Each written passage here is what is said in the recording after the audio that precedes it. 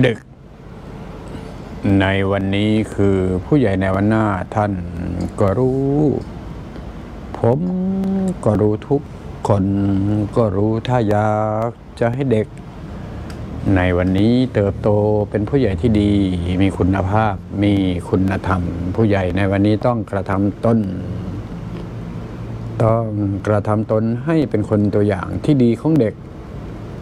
ในวันนี้ทั้งความคิด การพูดและการกระทำสวัสดีครับท่านที่กำลังอยู่หน้าจอที่เคารพกระต้อน รับทุกท่านเข้าสู่รายการปรัชญาชีวิตเพียงแค่คิดก็ มาเลยจ้า บ้านเราบ้านเราดอททีวี สถานี ธรรมชาติและสิ่งแวดล้อม เน้นหนักเรื่องของสุขภาพเนาะแล้วก็พัฒนามนุษย์ จากรุ่นปัจจุบัน ให้เป็นมนุษย์พันธุ์ใหม่ ตลอดจนกระทั่ง หาวิธีพัฒนา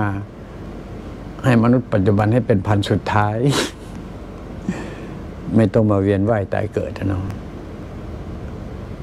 การที่จะเป็นพันธุ์สุดท้ายได้นั้นนะผมว่านะสิ่งที่ต้องรู้ก่อน ต้องนะ ต้องรู้ก่อนนะครับ จึงจะมีสิทธิ์หรือว่ามีโอกาสเป็นพันธุ์สุดท้ายไปได้ ถ้าไม่รู้สิ่งที่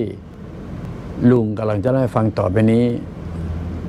มันเป็นพันธุ์สุดท้ายไม่ได้หรอกนะ ไม่ว่าท่านจะรู้เรื่องอะไรต่ออะไรสารพัดที่จะรู้กันมานะครับ วันนี้ลุงขออนุญาต ขออนุญาตนะ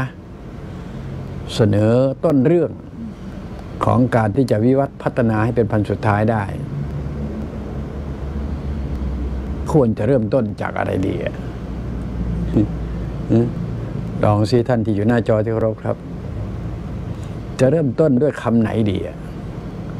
มันก็จะมีสิทธิ์ มีโอกาสเป็นพันสุดท้ายได้ทำไรเดี๋ยวน้อน้ำเนี่ย